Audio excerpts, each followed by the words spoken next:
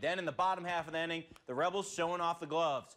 Mari Kukuk with the play at short and a nice dig by Ribich at first sets the Hounds down in one, two, three.